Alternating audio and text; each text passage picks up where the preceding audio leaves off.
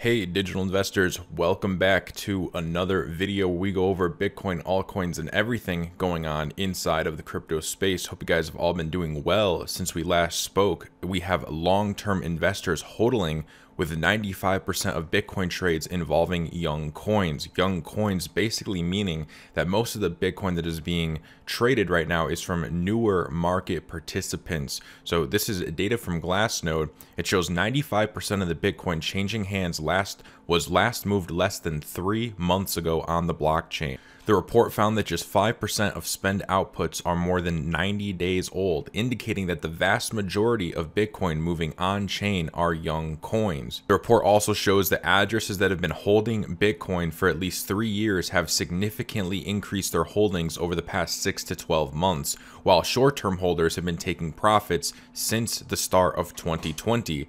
Uh, Long term holders, we'll refer to them as LTH, are wallets that have held their Bitcoin for more than 155 days, and short term holders, or STH, are wallets that have held their Bitcoin, or rather moved their Bitcoin within 155 days of receiving their coins. The report says that LTH tend to have a greater knowledge of Bitcoin, accumulating BTC in bear markets and offloading some during bull markets. By contrast, the STHs are likely to either be newer market participants or short term speculators that frequently move value between exchanges.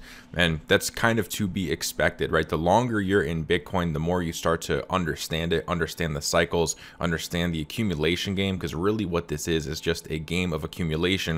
Um, so it's really no surprise that these younger coins, coins that are uh, recently accumulated, are being moved, right? They, sh they show how they're being moved a lot more through exchanges. Uh, they're taking profits, whereas to people who have been here for a while, they are buying the dips. And as we know, buying the dips in a bull market is a great strategy to be accumulating. Now, check this out $40 billion in stimulus checks are set to go to Bitcoin and stocks. I'm sure that's also other cryptocurrencies as well. So, a survey by Mizu, I'm just going to say Mizu Securities, found that 10% of the 380 billion in stimulus checks Americans will go to cryptocurrency and stocks. The cryptocurrency was the overwhelming favorite over stocks, and as per the survey, stimulus checks could buy up to 3%. This is assuming they all went to Bitcoin, but up to 3% of Bitcoin's current market cap. That's pretty insane. It found that 20% of check recipients will invest up to 20% of their funds. This is the chart right here if you want to check it out. 13% of Americans will invest between 20 and 80% of their checks, with 2% expecting to invest over 80% of their funds, which is honestly, that's lower than I expected, right? I thought, um, you know, I thought this number would be higher, but maybe people have bills to pay not everybody can probably afford to just throw an entire stimmy check right into uh, Bitcoin, cryptocurrencies, stocks. Those who said they, they'd invest favored Bitcoin over stocks, and the cryptocurrency was preferred by 61% of the respondents, with stocks garnering 39% support.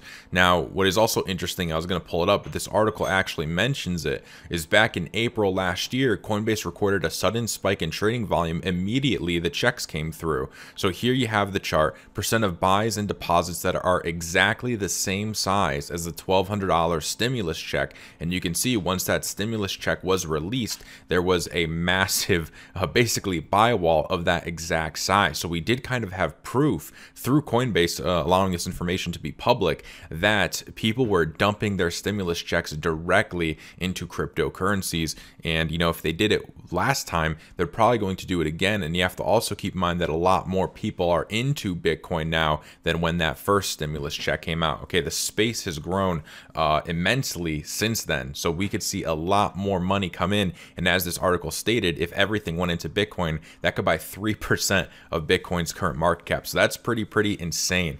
I also wanted to show you guys this. This is from Raoul Pal, right? Now, he has some really, really interesting things to say. So he says, so as it's Saturday night, I want to ask BTC Twitter a question. You are generally libertarians in philosophy, right? And I am the founder of a media platform that encourages free speech. But if I book someone who is not a Bitcoiner, you are in outrage. WTF, people. So that's pretty interesting, right? Then check this. This is a thread he put out. This is very interesting. He says, yes, there is a Bitcoin revolution, but there is a digital asset revolution going on that is beyond incredible. It is very early days, like BTC in 2013, but it's happening. Some will be on the BTC blockchain, but the vast majority will not be.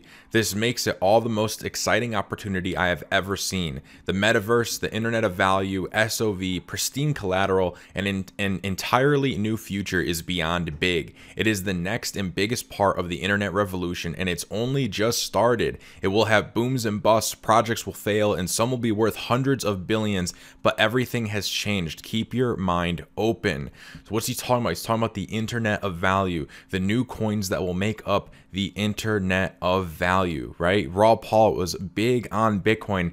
So it is amazing to see him kind of acknowledge this aspect, right? A lot of people who made a big fortune in Bitcoin, for some reason, they turn into Bitcoin maximalists, right? Basically, Bitcoin is king and everything else is a shitcoin. Uh, so it's really cool to see a guy who was so big on Bitcoin kind of acknowledging that, hey, there's this whole other thing. And I also like what he says. He says it is very early days, like Bitcoin in 2013. So if you're holding some of these coins that are going to make up the internet of value and you think you're too late, I mean, a lot of these these coins are still under a couple of dollars. So it, it is definitely crazy. And uh, check this out, right? So I um, this was a reply to the thread. This from at DeFi Whiskey. He says you can almost tell Raoul is getting annoyed with his Bitcoin maximalist friends who are fast becoming the gold bugs of crypto. He never hung out much with them in TradFi. Now he's looking to extract himself from them in crypto.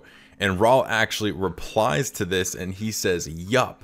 I mean, that is pretty insane, guys. You have Raoul Pal publicly saying that BTC maximalism is, you know, it, it's it's just it doesn't make any sense, right? Blockchain is such a new technology to think that Bitcoin is going to be the only thing that is birthed from something like this is very narrow-minded thinking. So I just wanted to share that with you guys. We also have the crypto fear and greed index, and today we are sitting in greed at 71. And we could also check some prices for today. We have Bitcoin sitting at 55,000. 1,000, Ethereum 1,700, BNB 253, Cardano is at a dollar and 20, Polkadot at $34, XRP at 45 cents. Uh, let's see, Litecoin at 198, Uni $28, Chainlink 27. Let's go down and let's check out. Uh, looks like we have Theta at $7 still, uh, holding strong above $7. Theta has been on a rip. Uh, we also have H bar. I'm sure you guys have seen H bar. H bar has been going absolutely absolutely crazy. Right now, sitting at 34 cents, but it went over the 40 cent mark. And I mean, what an incredible run for H bar. Still, despite the pullback it's had, right down from I think it went up to about 45 cents, uh, depending on the exchange you're looking at. Uh, but still, despite it being back down at 34, it's still up 95% on the seven day. And H bar is one of those tokens, guys, that you know it has utility, it has partnerships. It is definitely something that could be looked at as a long-term hold, right? There's a lot of coins on uh, on here. There's a lot of coins in general, but there are a lot of coins that do great gains now. Uh, but just because they're doing great gains now doesn't mean they're going to be here forever. So make sure you know which coins you're getting in and out of, uh, which coins you're trading and making money with, and then make sure you also know what coins are making up your long-term hold portfolio, right? You have to know the differences because you do not want to be sitting in S coins when when you know the bubble eventually pops, right? Because we're in a bull run right now, and eventually we'll we will reach into that bubble territory, and when it pops. You want to make sure you've cashed out some profits, and the uh, coins you do hold, you want to make sure that they have some staying power, right? They're not going to be dead after three years. Now let's move on to some, you know, some pretty crazy stuff. Bids for Elon Musk's crypto-themed NFT passed 1 million. This is his NFT that he's selling. Um, he says, I'm selling this song about NFTs as an NFT. I think it says kind of what it is. Uh, it, the NFT features a trophy decorated with diamond hands, Shiba Inu dogs, which are the Dogecoin dog. So if you know the Dogecoin logo, that dog, it's a Shiba Inu. And I, am probably saying that wrong. Uh, moon and the crypto term hodl, all tastefully spinning and gleaming to some house music. So, you know, someone out there's paying a million dollars for this. Absolutely could not be me. But I mean, it does look pretty cool, but it definitely does not look a million dollars cool. Let me know what you guys think. I know every time I show stuff like this, I get comments of like people are mad. They're like, you know, who is so stupid to be doing this? And like, I totally understand the frustration because, like, yeah, how could you pay a million dollars for this. I, don't know. Like I could think of so many things, uh, so many different ways I could change my life with a million dollars other than buying an Elon Musk NFT. But you know, people buying this stuff, um, they probably already have tens of millions of dollars if they're willing to bid up stuff like this. Now we also have Elon Musk tweet tweet storm triggers exponential surge in dog related cryptocurrency, but this time it's not Dogecoin. You guys literally won't believe this. Uh, so in a new tweet, he says, "I'm getting a Shiba." Shiba Inu. Resistance is futile. Remember, Shiba Inu is that breed of dog that is on the Dogecoin uh, logo. This time, however, Shiba Inu, SHIB, S-H-I-B is the ticker, appears to have benefited much more than Doge, okay? So people saw Elon make this tweet, Shiba Inu, and they take the first four letters SHIB. Uh, they see that oh wait, there's a cryptocurrency that has the ticker SHIB, right? And and they start buying it up. So Musk's most recent antics following Musk's tweet, SHIB the crypto asset which is, I guess, a decentralized experiment. It surged from two Satoshis on March 14th to an all time high of 11 Satoshis on March 15th. That's a 450% gain in 24 hours. Okay. So it, it kind of goes to show the power of uh, what celebrities, I mean, I don't know if you'd really classify Elon Musk as a celebrity, but I guess let's just say people with large followings, right? They could literally tweet something and they could move the market, not even meaning to.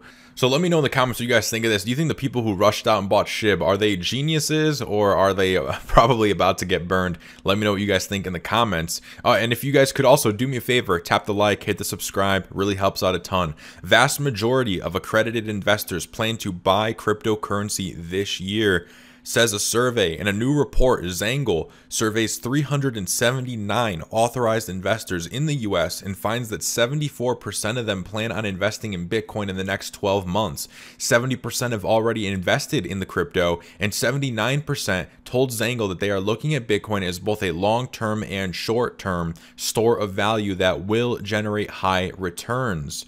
Uh, accredited investors, they are individuals who make 200,000 in annual income, or if they're married, you know, filing joint, that would be 300,000. And of those surveyed by Xangle, the majority plan on investing more than $500,000 into Bitcoin. It goes over, you know, uh, what is keeping some of them out, and they kind of go over saying, you know, some people think Bitcoin's too new, some people think it's too volatile, and some of them they also think that uh, now is just not a good time to invest, which I would kind of have to agree with them. Uh, you pull up a Bitcoin chart, and uh, you know it definitely it definitely doesn't get my mouth watering, right? Back at $3,000 Bitcoin back in March, oh yeah, my mouth was watering. But as of right now, you see straight lines up. It's not something I chase. Um, if chasing pumps is your thing, that's cool. If you're buying Bitcoin now, you know, I'm not hating on you. You know, if I didn't have any Bitcoin exposure, any cryptocurrency exposure, I'd probably be getting some exposure right now too. Uh, but once, again, once you are in the crypto space for a while, and if you are new here,